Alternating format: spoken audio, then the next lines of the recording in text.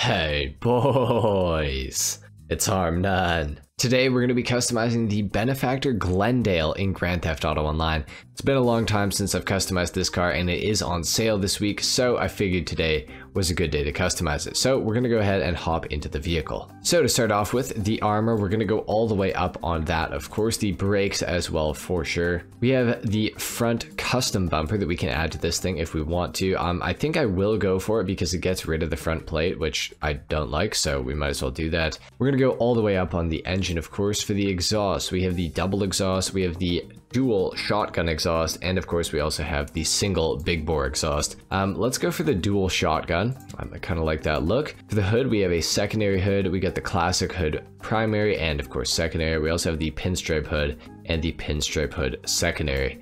Um, I think that I kind of just want to go for the classic hood primary. Um, I, I like that look. Um, it's pretty good. So we'll go for that. For the headlights, we are going to go xenon, of course. For the plate, we are going to go yellow on black as well. For the respray of the car itself, um, could go for something like crazy, like the crew color. However, I'm not really feeling it too much on this thing. Could go for something like kind of basic, like a silver, something like that. Um, I'm wondering about like a kind of a weird color. Like, what if we go for like a bronze or something like that? I feel like a bronze could look kind of okay on this. Um, Oh, I kind of have an idea. What if we go for like a bluish silver for the primary and for the secondary? And then for the pearlescent, we go for something a little crazy. Um, just to change up, change up the color a little bit. What if we go for, where's bronze? Let's see, what if we go for a bronze on the bluish silver? Eh, it looks okay. Gold looks okay as well. I actually kind of like gold better. Let's go for a gold pearlescent. I don't usually go for pearlescent, so this is this is something a little different. Uh, we got the roof rack that we can put on this thing. We got the day trip luggage, and we have the fully loaded luggage as well. Um, I'm gonna go for just the regular roof rack. I kind of like that look. For the skirts, we can add some onto the vehicle. We might as well, I suppose.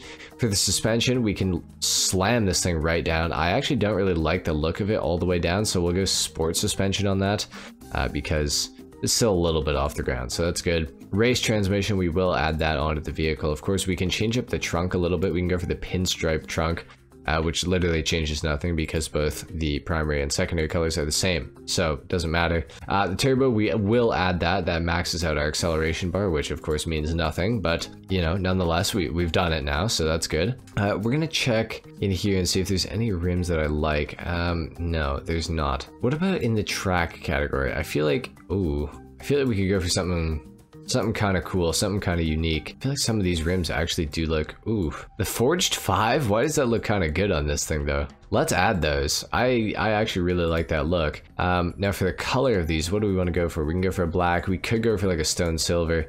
Could go for a white.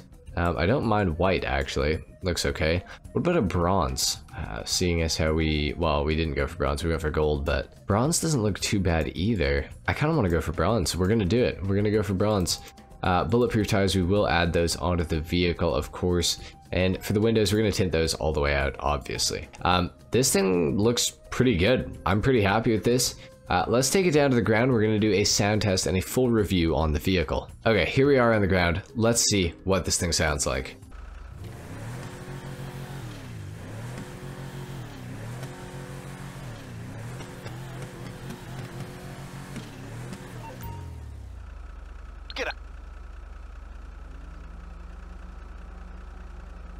The vehicle actually sounds pretty damn good, I gotta say.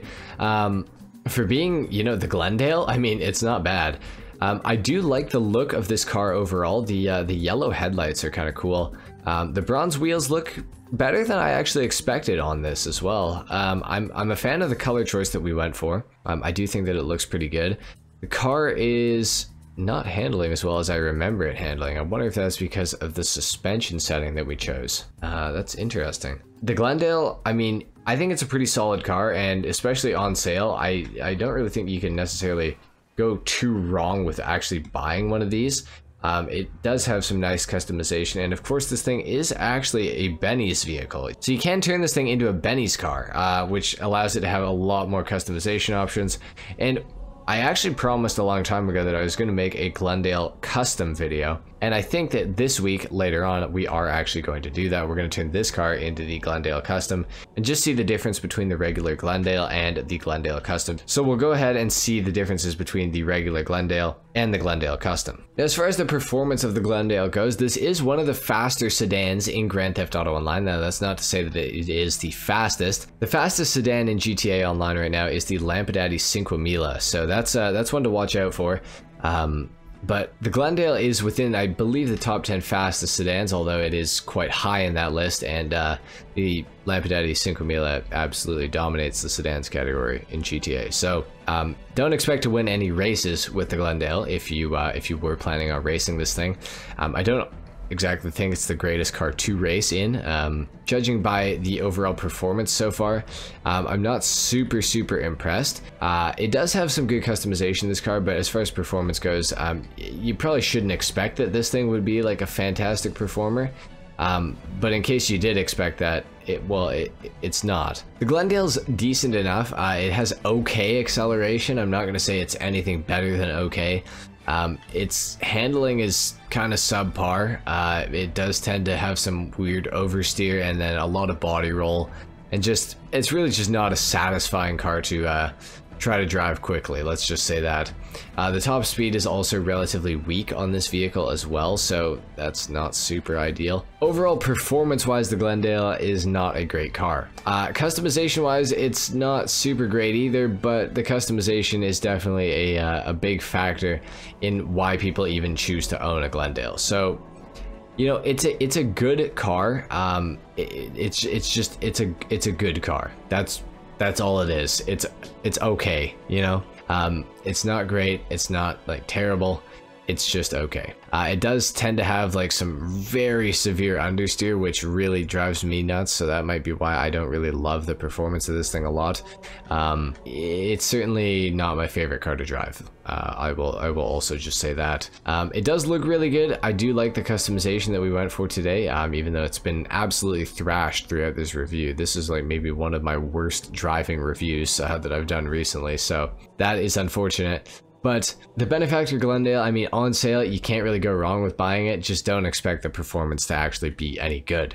Uh, and even, you know, for the sale price, there are cars that will outperform this thing quite heavily. So just be wary of that. You might want to end up saving your money. Uh, if you really like Mercedes and you really like old Mercedes, then you know you might want to pick up a Glendale but other than that I would say you could probably avoid it. Anyway guys that is it for the Benefactor Glendale customization and review in Grand Theft Auto Online. If you enjoyed this video, if you learned something, a like is of course appreciated, if not dislike. Subscribe if you guys are new, and I will see you all in the next video. Until then, take care. Peace.